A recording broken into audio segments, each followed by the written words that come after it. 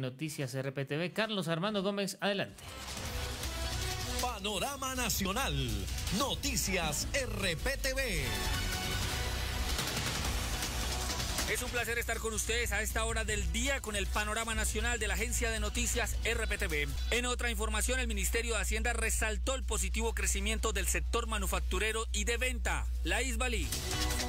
De acuerdo con el ministro de Hacienda, Mauricio Cárdenas, a corte de mes de febrero, la confección de prendas de vestir creció 4.4%. El dato quizás más revelador de la recuperación económica del país son las ventas del comercio en el mes de febrero, que crecieron 5%. Esto también se atribuyó al compromiso de los textileros nacionales, quienes, con esfuerzos a la hora de ofrecer productos a mejor precio, lograron que las ventas minoristas mostraran un repunte. Estrategias como la que vemos ahora, a 10, 12 en 20, han funcionado muchísimo y han dinamizado eh, la venta al, al detal de prendas de vestir.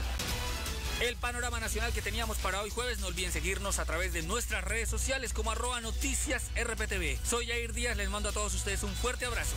Hasta pronto.